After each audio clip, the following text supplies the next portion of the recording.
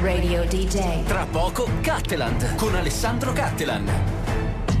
You must think that I'm dumb when I look into your eyes. I always talk too much, never say enough.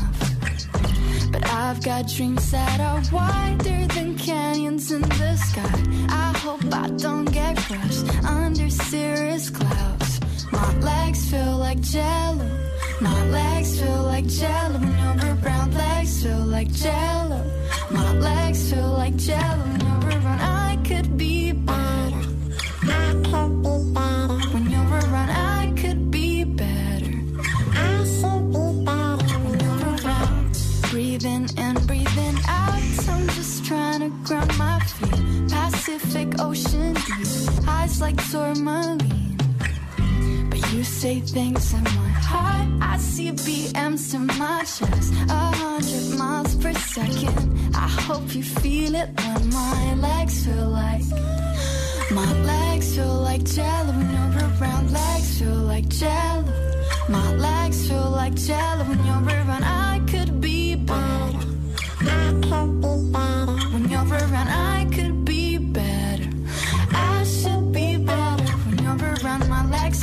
like jello. My legs feel like jello. When you're around, legs feel like jello. My legs feel like jello. When you're around, I could be better.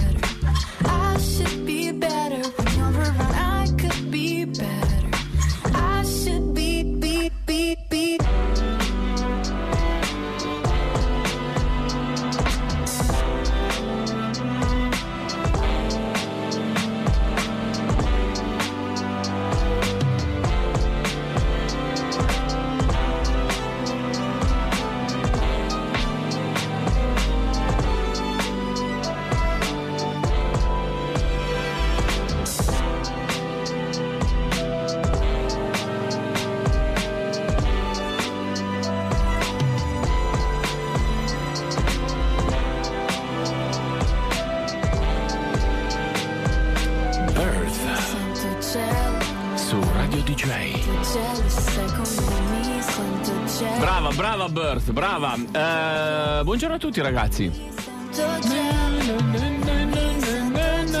Siamo pronti a iniziare una nuova puntata in vostra compagnia. Sigla. È tornato Walter? Oh, ehi! Oh, oh, oh, oh. Boom, boom, clap, ba, boom, boom, clap.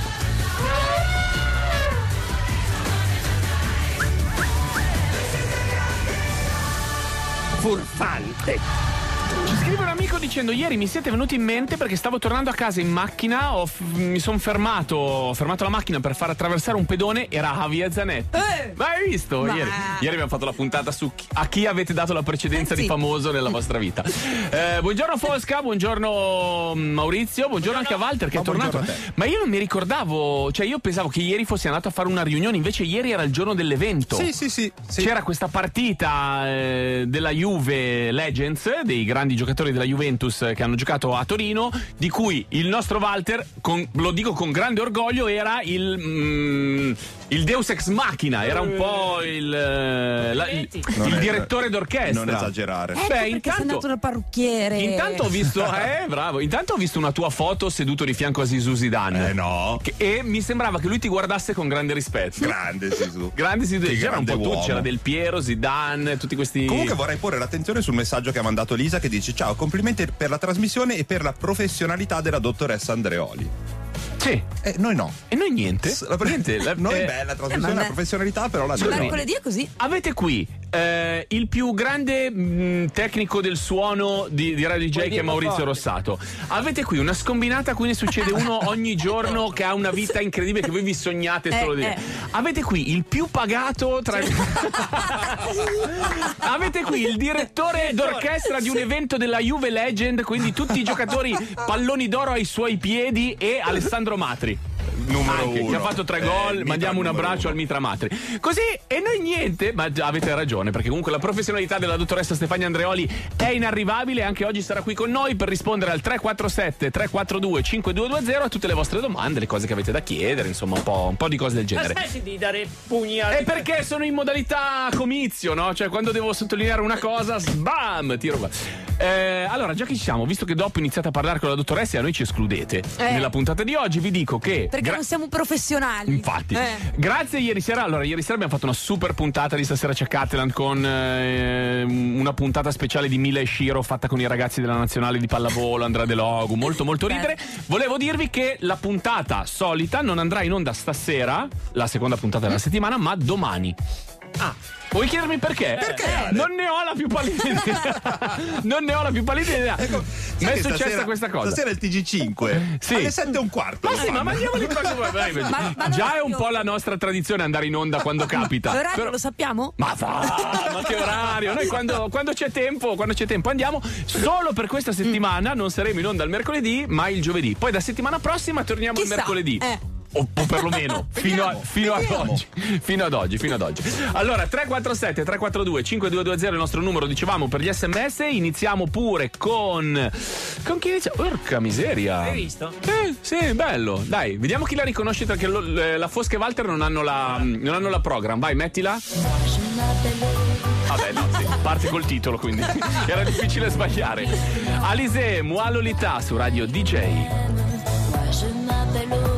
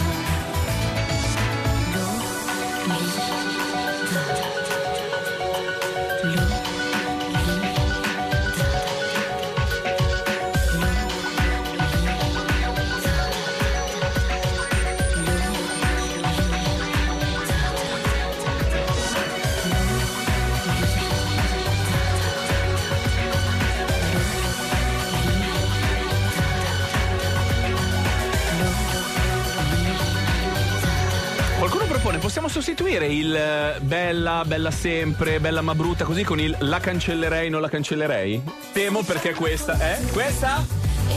Via. X- no, tu la tieni? Walter la tiene, vedi? Io e Fosca un po' meno. Eh, buongiorno a tutti ragazzi, è arrivata in studio la dottoressa Stefania Andreoli. Metti il pannolino al contrario, ti dimentichi di riscaldare il biberon, ti se ne frega. Devi uscire di più, giocare di più Se fuori. odia le carote grattugiate e vuoi dare un Big Mac a tuo figlio, vai pure. Non l'ho fatto apposta, mamma. Vedrai quando avrai tu dei figli. Stefania, buongiorno. Alessandro. Eh, dottoressa Andreoli che ho accolto con l'unico argomento di cui sto parlando in questa settimana con tutti, cioè il documentario di David Beckham. Che l'hai Sul visto? quale ero preparata. Eri L'ho preparatissimo. visto anch'io. Bellissimo, bellissimo. E stavo dicendo che mi ha tirato un po' su il morale perché in questo periodo, senza far paragoni stupidi, mi sentivo un po' esposto, vulnerabile, no? Non insultato perché per fortuna non mi capita raramente, però insomma mi sentivo un po' vulnerabile e mi ha tirato su di morale perché vedendo lui ho detto "Ma se, se è vivo lui, ma perché mi devo lamentare io?". Ho fatto un po' il um, mal comune mezzo no, mal comune, il Beh, Ale, guarda che risuonare in qualcosa di più grande, di più universale. ti che- rimette a posto. Eh sì, Eh sì. ti aiuta a relativizzare te stesso e ti fa sentire parte di un tutto. Giusto, giusto. E poi la dottoressa si rendeva conto di quanto fosse forte, ne parlavamo con eh, Walter, David Beckham come giocatore che è stato un po' sottovalutato, secondo me, nella sua carriera, giocatore clamoroso sottovalutato per la sua bellezza. Sì, sì, il potenziale calcistico. Io seguo il calcio assolutamente in modo laico e da profana, però è la parte che mi ha colpita di più. Eh, penalizzato per la bellezza che è un po' quello che capita A noi. A noi. È un po' quello che capita a noi, vedi? Se potessimo avere un euro per ogni volta che siamo stati sottovalutati per la nostra bellezza, saremmo miliardari a questo punto. Eliana, buongiorno! Ciao, Come buongiorno a stai? tutti. Come stai? Ciao, bene, bene, sono molto emozionata perché Allora, è un eh, onore. vai, vai, tranqui- vai tranquilla, eh, Sì. di bene, sì, sintetica, così poi lasciamo eh, la possibilità alla dottoressa di risponderti per bene. D'accordo, Vai. buongiorno dottoressa, eh, avrei mille cose da chiederle, la più leggera la tratto oggi con lei. Ehm, chiedevo, mia figlia ha 13 anni, ha ricevuto un invito per un pigiama party a casa di un'amica con Mhm. altre amiche, abituata a farlo altre volte. Eh, questo giro invece hanno richiesto la presenza anche di due loro amici. Mhm. eh, stessa età, sono tran- abbastanza tranquilli direi, ed escono spesso assieme il sabato sera. Eh, io però eh, quando mi ha detto che ci sono due ragazzi eh, mi sono un attimino fermata, invece di dire sì subito eh, ho detto valutiamo un secondo a casa, eh, col mio compagno non siamo molto d'accordo eh, su questa cosa e ovviamente le ragazze e altri genitori hanno detto ma no, no, andrà tutto bene, stai, stai tranquilla. Noi siamo sempre quelli che tirano un po' più indietro le redini e quindi un po' diciamo fanno dell'ironia perché siamo sempre quelli, un po' più severi. Mhm. Non sono preoccupata molto per cosa potrebbero combinare, però insomma mh, vorrei mettere dei limiti alle cose che vengono richieste dai ragazzi perché loro chiedono, chiedono Certo. sì, sì, sì. Qual era quel film? Anche no. Quel film dove c'era Massimo Boldi terrorizzato che diceva Me la ciola, me la ciola, me la ciola, me la No, ciola. per quello, per quello non sono preoccupata piuttosto che per altro degli ultimi tempi, diciamo. Infatti mi colpiva cosa, di Eliana. cosa? Eh, Ma non so, per qualcosa che eh, potrebbe girare, adesso loro sono molto gasati, escono sì sabato sera. Ah, alcol, più- droghe, cose così? Ma sì, ma molto più soft, eh, sì. Ah. Adesso cioè, si sentono molto liberi di avere una casa tutta loro. ma perché non ci sarebbero i genitori dell'ospite quella Allora, sera? i genitori sarebbero forse, probabilmente mi hanno detto nella casa a fianco No, perché... no, no, Eh. no, ragazzi, allora eh, mettiamo i puntini sulle i. Questo Allora, fa una bella differenza. Fa Eh, tanta la differenza, anche Anche. se avrei dato la medesima risposta, che probabilmente non ci si potrebbe aspettare da me, ma la spiego e quindi poi se ne vedrà il senso.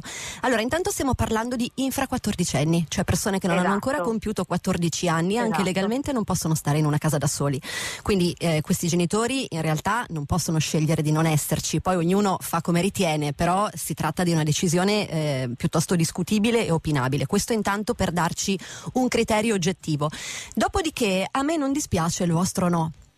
Ma devo spiegarlo. Allora, eh, a quest'età e ancora per almeno un paio d'anni, se non qualcosa in più, sarà così.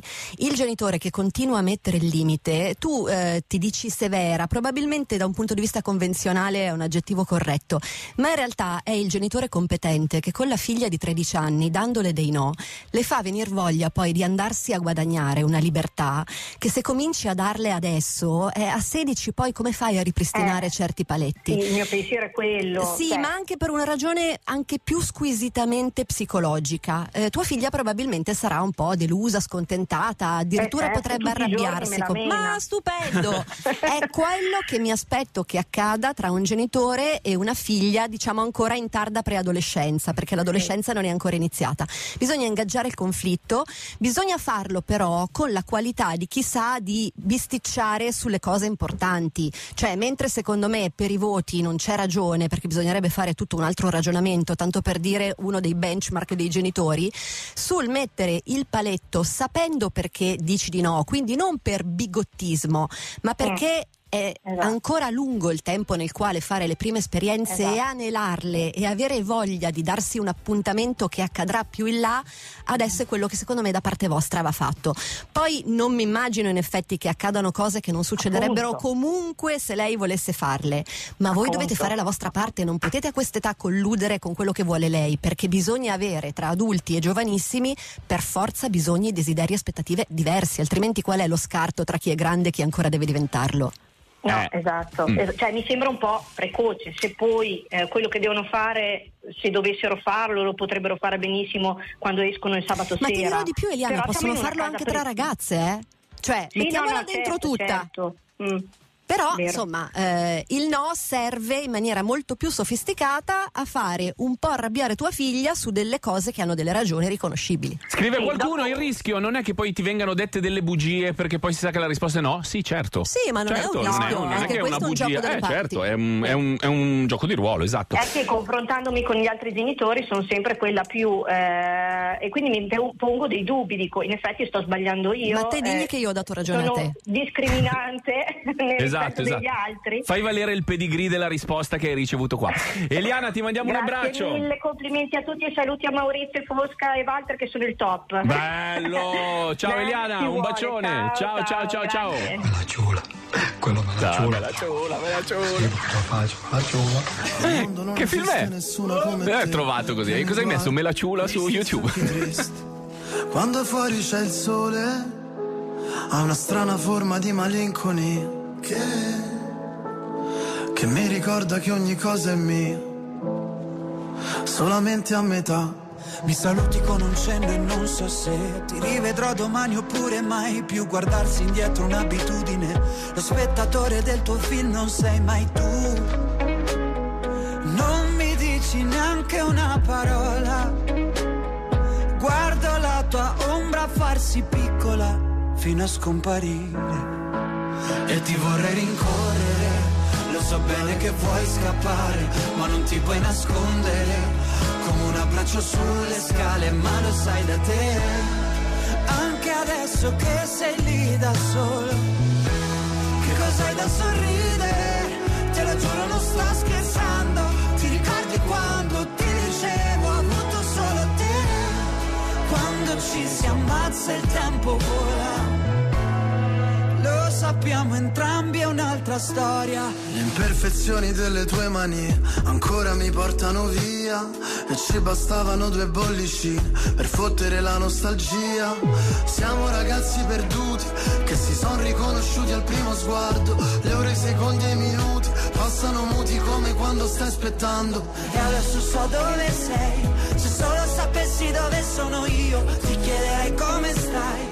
Se solo sapessi come dirti addio e tu lanci un desiderio a una fontana.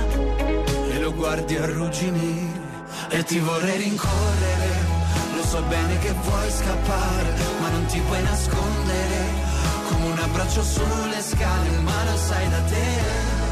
Anche adesso che sei lì da sola. Che cos'hai da sorridere?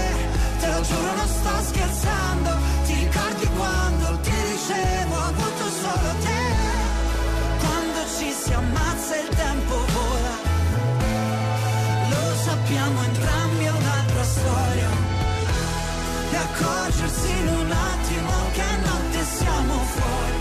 Andiamo senza meta sotto gli occhi dei lampioni.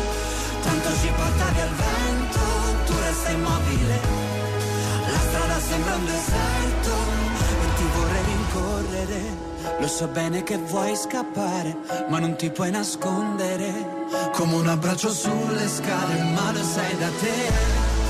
Anche adesso che siamo qui da soli, Che cos'hai da sorridere?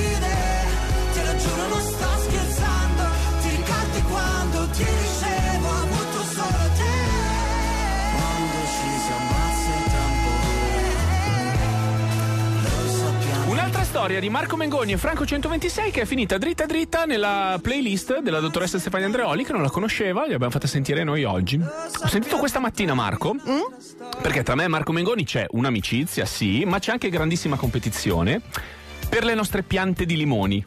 Ah, anch'io ho il limone sul Vuoi terrazzo. entrare nella chat? Dai. Ci mandiamo le foto e ci bulliamo di chi ha la pianta che dà più limoni.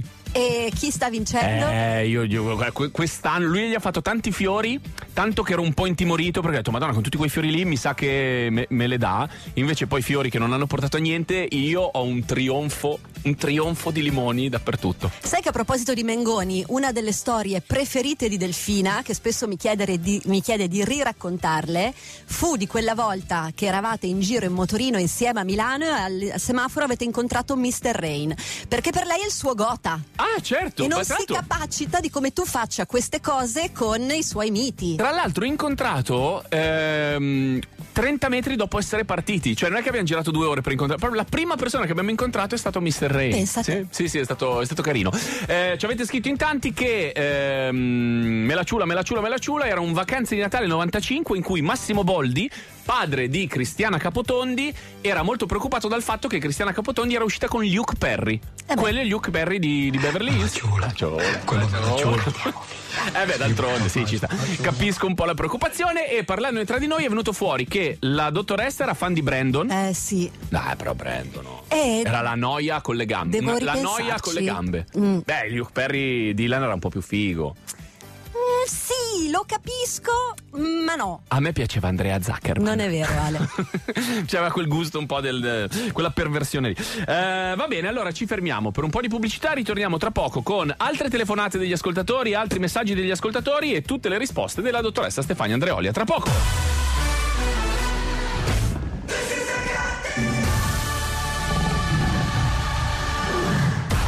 Attenzione, riparte l'azione. Cattelan, tutto solo. Penetra, prova la botta. Rete, Cattelan. Incredibile, proprio lui.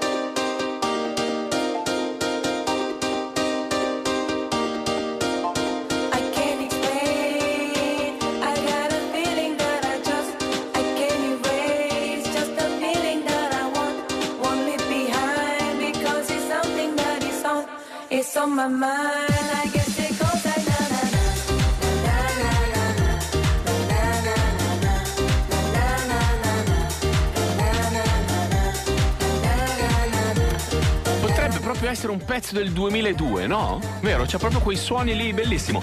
Uh, Peggy You. Na na na na na su Radio DJ sono le 12.33, siamo ritornati in compagnia della dottoressa Stefania Andreoli. Eh, ti leggo questo messaggio, un ragazzo che dice per la dottoressa sono troppi mesi che non faccio più l'amore con mia moglie, nemmeno più sesso e a me la felicità manca e invece lei evita l'argomento e mi respinge. Sto malissimo, non so che fare. Che c'è questa bella differenza fra sesso e amore che possono essere momenti diversi anche all'interno dell'amore. Assolutamente sì, sono anche gesti diversi. Questa distinzione secondo me è molto interessante, racconta in effetti di come questa persona la pensi bene questa cosa. Non saprei cosa dirle, perché in tutti i casi mi sembrerebbe che bisognerebbe cominciare dall'anticamera del talamo, cioè poterne parlare. Se l'argomento non è nemmeno dicibile, eh, in effetti ci si trova in un cul-de-sac.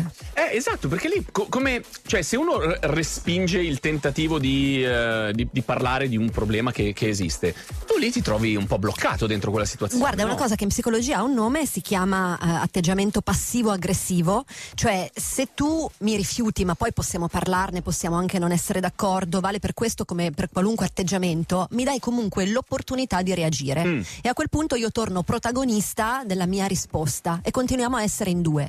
Però se tu mi eh, presenti il silenzio, laddove io cerco di riempire quello che manca, almeno con il dialogo, probabilmente stiamo parlando di una crisi profonda che finisce a letto ma inizia da un'altra parte. Al telefono c'è la Dalila, buongiorno Dalila. Ciao Ale, ciao. Come stai? Come Stefania, stai? Come Buongiorno stai? a tutti, tutto bene? Un po' Come raffreddata, Ma come fai che Tutto ci sono bene. 7000 gradi? Do- dove, dove abiti tu? Eh, io in provincia di Cuneo. Provincia di Cuneo, fa- farà caldo anche sono lì? po' offesa che non ti sei infiltrato al mio matrimonio nel 2019, visto che eri in zona Langa. E... Eh, perché ultima- sì, ultimamente faccio un po' il wedding Eh. crasher. Vado lì, il, no, il party crasher. Eh, senti, Dalila, allora c'è una bella domanda per la dottoressa che secondo me è interessante perché c'è- dà anche la possibilità di uscire un po' fuori da questa retorica che spesso eh, riguarda l'argomento. Eh, Raccontaci un po'. Sì. Allora, ehm, allora, un paio di giorni fa mio figlio Franci ehm, è arrivato a me mi dice mamma eh, io ci ho pensato eh, questo mio compagno Giulio mm, un suo compagno di classe con cui sono molto, molto amici molto legati io ho capito che non, non è un mio amico sono innamorata di lui. Eh, perché lui, lui ha sette anni Franci eh, fa seconda elementare Eh, perché ho capito che lui è molto simpatico, molto gentile, abbiamo tante cose in comune, quindi io credo proprio di amarlo perché voglio stare tutto il tempo con lui, Mhm. insieme a lui. Che meraviglia! Eh, sì, mm, sì, nel senso che io non, non sono rimasta di sale davanti a questa cosa, nel senso che mm, ho provato un po' a indagare e capire che cosa si, cosa si fossero detti, cosa, se, se lui appunto aveva fatto questa esternazione anche con l'amichetto, Mhm. se invece era una cosa che si era tenuta per sé. E, e poi ho cercato un po' di, di, mh, capire da lui che cosa intendesse per amore, cosa intendesse per amicizia. Eh. Mi sono un po' impelagata su, su questo discorso, ho provato un po' a trattarlo come, eh, come ritenevo. E poi oltretutto la cosa anche ehm, mm, strana è che la sera io non c'ero durante la cena, ha fatto lo stesso discorso anche a mio marito.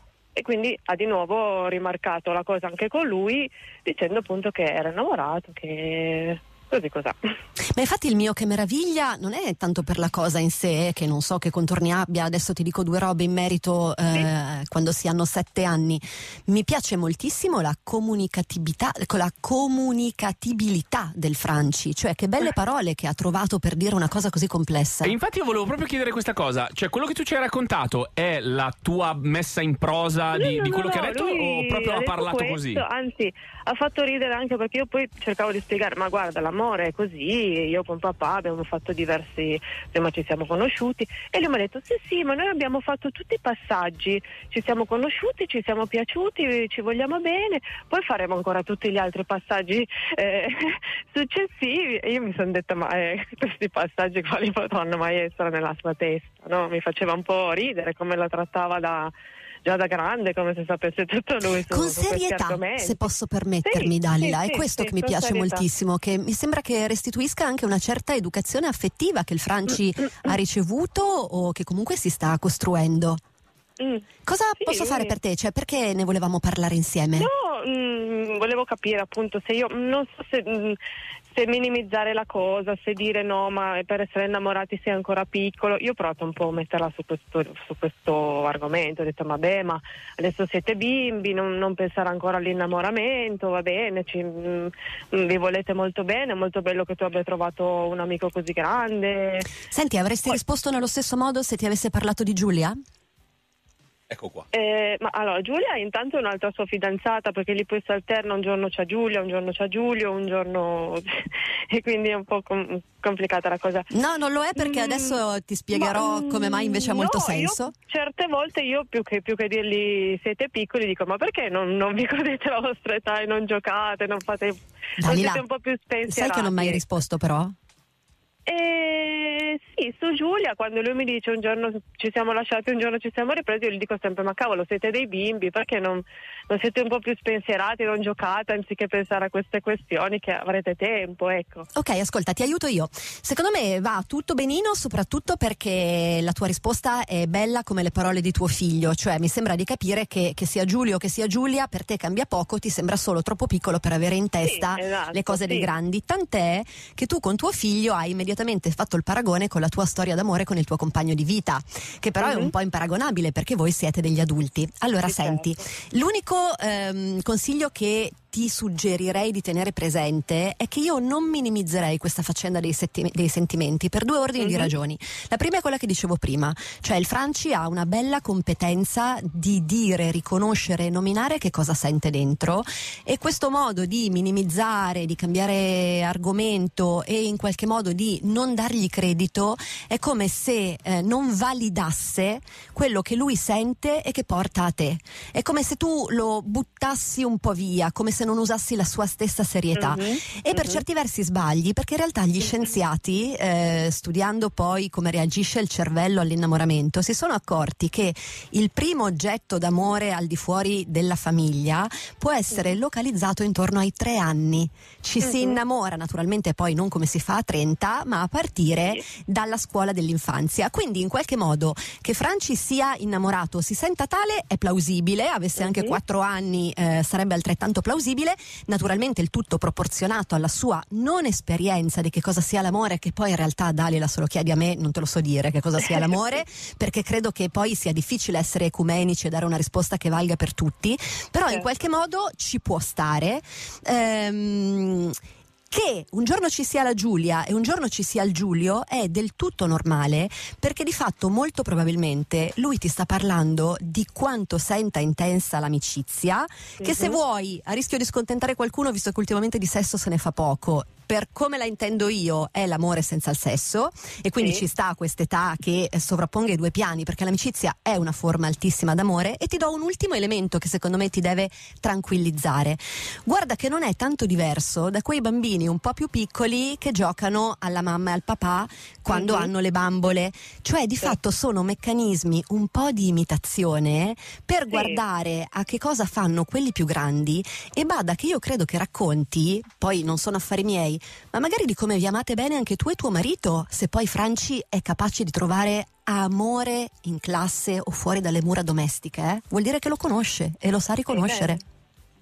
Io posso, posso dirti un timore solo che ho avuto, siccome lui è molto chiacchierino, che lui magari iniziasse ad andare in giro per la classe e dire ah ma qua qua io lo amo e qui lo amo e e magari che potesse essere preso un pochino in giro dai compagni perché comunque Pazienza. i discorsi che si fanno in famiglia non, non sono per forza discorsi che si fanno in Pazienza, se famiglia, venisse giusto? preso in giro per questo o se dovesse venire preso in giro perché un giorno arriva con le scarpe fuori moda, prima o poi una presa in giro se la deve beccare. Eh? Certo, sì, Quindi sì, certo. Dalila, ti mandiamo un abbraccio. Va bene, grazie mille Ciao, di ciao. tutto. Ciao, buona ciao, giornata. ciao, ciao,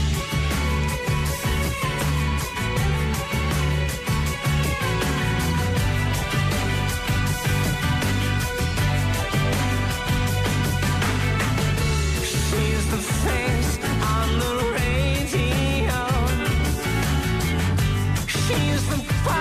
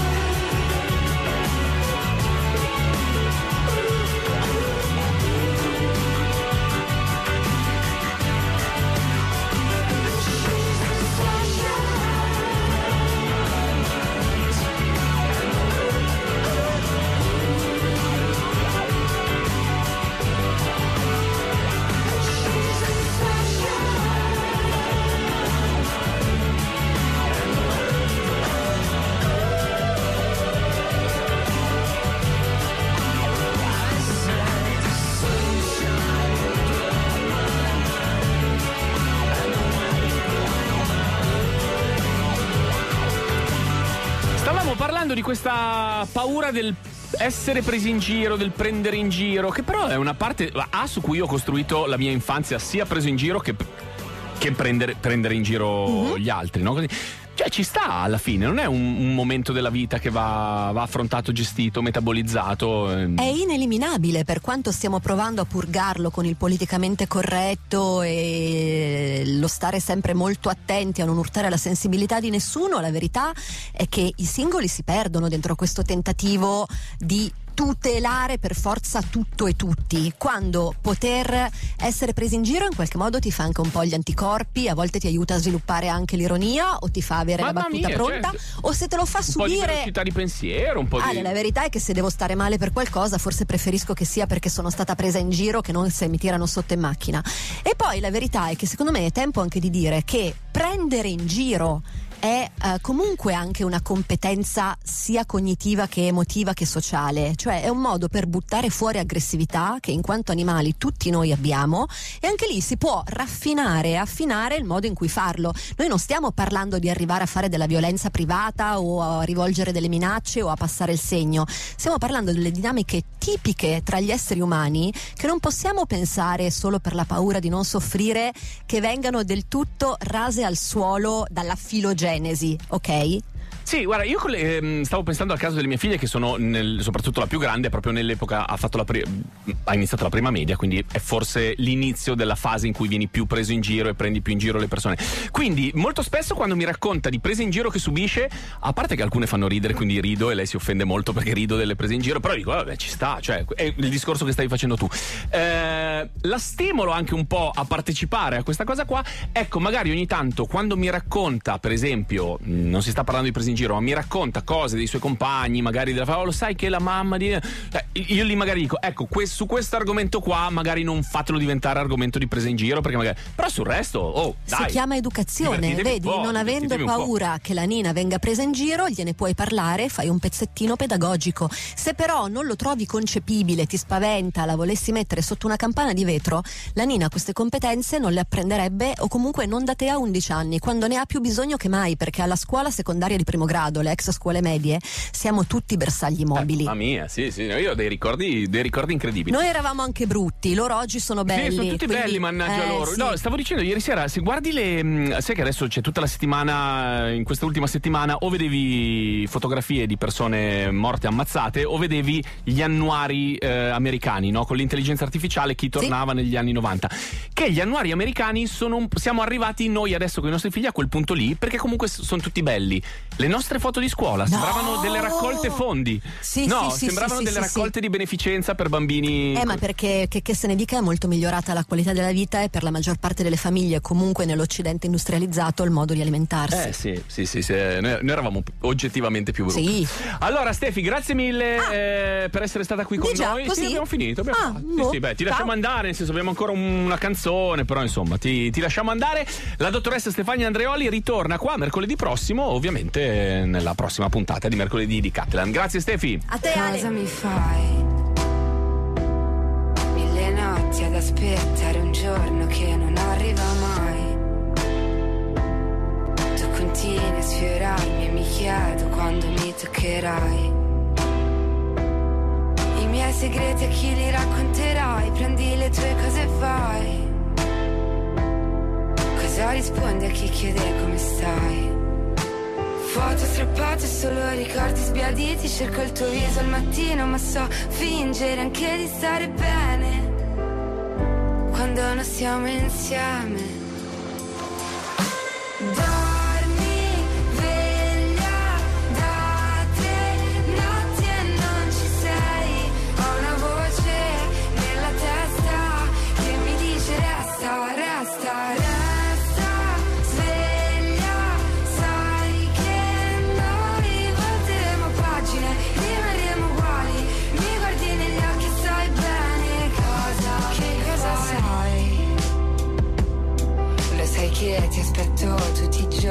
ma non arrivi mai. Che sei bella senza via d'uscita Così come sei. I miei segreti te li dirò la notte Sotto un cielo di nei Amore un quadro che fa invidia ai musei. Sai essere casa ma anche un ricordo sbiadito. Io non ci credo al destino ma so fingere anche di stare bene Quando non stiamo insieme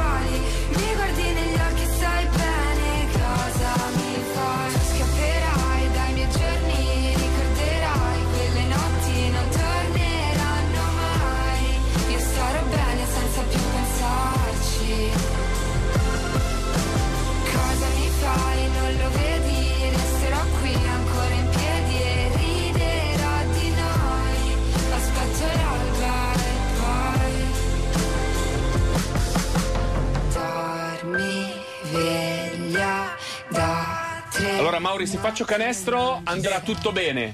Vado? Aia. testa che mi Ecco. Di un metro è Di un me- eh, non vedevo dove era il canestro.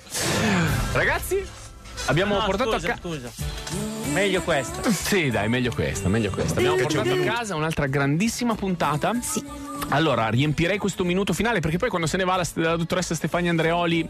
Ah, ah, bello, adesso che sta dov'è? Guarda, vediamo, vediamo, vediamo. Eccolo! No, no, no. Anco- ancora? Due- Si conferma è no? uscito di due. Allora, occupiamo questo ultimo minuto finale ricordandovi che il primo novembre burro. c'è la data finale di Salutava Sempre. Dove, Trovate i biglietti su Eh, l'abbiamo preso. Ticket One Live Nation dappertutto. Dove, dove, dove, dove? A Mantova, Ok. amici mantovani. Poi che la puntata di stasera, di stasera c'è Cattela, non c'è, c'è domani sera. Quindi c'è domani sera c'è Cattela, non stasera c'è Cattela. Andrà di giovedì. Vuoi chiedermi di nuovo perché? Perché? Non ne ho idea, così sono cose che capitano. Poi la nuova puntata di Catteland è domani da mezzogiorno all'una su Radio DJ. Vediamo. Poi iniziamo a dire che Fosca a breve aprirà una rassegna letteraria Ah, e aprirà per Marco Travaglio. Marco Travaglio è headliner e io apro. Poi tu hai qualcosa da dire, Walter? No. Che libro ha scritto Travaglio per essere dopo Fosca? Poverino. Non è il panorama. Va Lui bene, va bene. Ciao ragazzi, ciao a tutti. Ci sentiamo domani da mezzogiorno all'una su DJ. Ciao.